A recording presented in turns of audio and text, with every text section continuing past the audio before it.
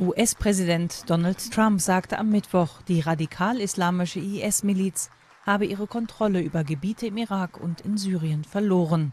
In Washington sagte Trump, er rechne mit einer offiziellen Erklärung, vermutlich in der kommenden Woche, dass man 100 Prozent des Kalifats haben werde, so Trump. Ihr Land ist weg, das ist ein großer Faktor. Ihr Land ist weg. Die internationale Koalition zur Bekämpfung des IS und das Militärbündnis der demokratischen Kräfte Syriens habe laut Trump praktisch das gesamte Territorium befreit, das vorher vom IS in Syrien und im Irak gehalten wurde. Trumps Entscheidung, Truppen aus der Region abzuziehen, wurde jüngst sowohl von Republikanern als auch von Demokraten kritisiert, die fürchten, der IS könnte wieder an Kraft gewinnen. Trump hält jedoch an dem Rückzugsvorhaben fest. Welcome back home.